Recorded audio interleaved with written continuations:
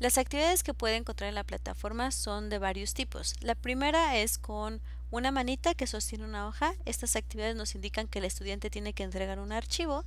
Los foros que aparecen con dos globos de mensaje y uno tercero que son actividades de autoevaluación que van a estar con una flechita.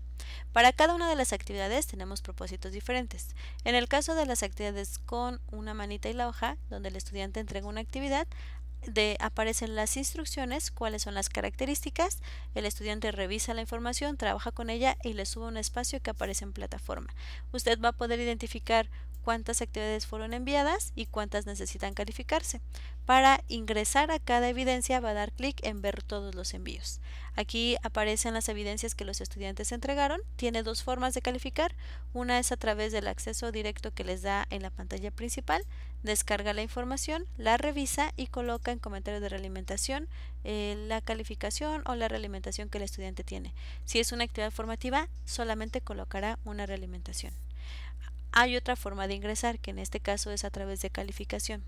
Le va a desplegar como un bloque personalizado de cada estudiante y nuevamente descarga la información y tiene su sección de cuadro de, información o de cuadro de texto para que pueda escribir. Va a guardar cambios y continuar o dar siguiente. Cuando esta actividad, por ejemplo, que es formativa, no tiene el espacio para asignar una calificación cuantitativa.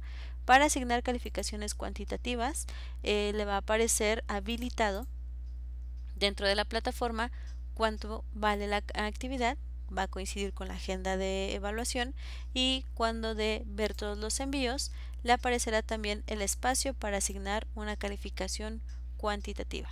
En este caso, nuevamente puede hacerlo de manera directa sobre esta sección o bien eh, se va a calificaciones.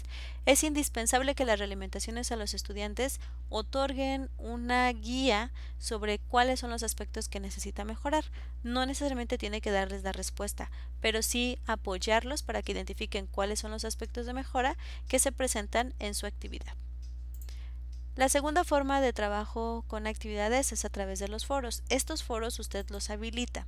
Tiene que dar clic en añadir nuevo tópico, indica en la sección asunto cuál es el asunto que se va a presentar. Los mensajes señala cuál es el mensaje eh, puede retomar las instrucciones que están aquí o bien clarificar las instrucciones y una vez que se tiene esta información da clic en enviar al foro. Si usted quiere eliminar la información de, enviar al foro, pues simplemente vuelve a dar clic y damos eliminar. Una vez que usted eh, abre este foro de discusión que tiene que ser al inicio de la semana, los estudiantes comienzan a participar y usted puede hacer dos cosas. Puede dar una realimentación individual o bien al final de cada foro, perdón, de cada bloque de comentarios. En el caso de las actividades de autoevaluación, no hay que hacer nada. Los estudiantes realizan la actividad y en automático logran su evaluación.